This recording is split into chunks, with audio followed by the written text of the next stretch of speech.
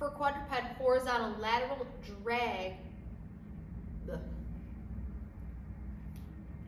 For a dumbbell quadruped horizontal lateral drag plus leg extension, you're gonna set a dumbbell next to you, coming into a quadruped position.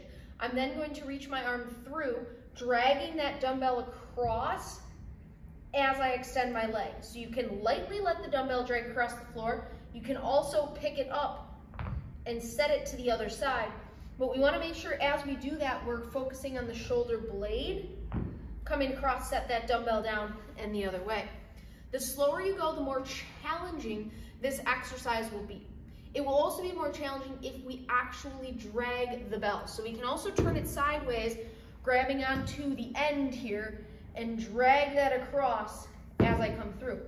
Notice as I drag, I'm letting my arm come to the side. It's not a flick of the wrist and the elbow, but instead an intentional drag across for a dumbbell quadruped horizontal lateral drag plus leg extension.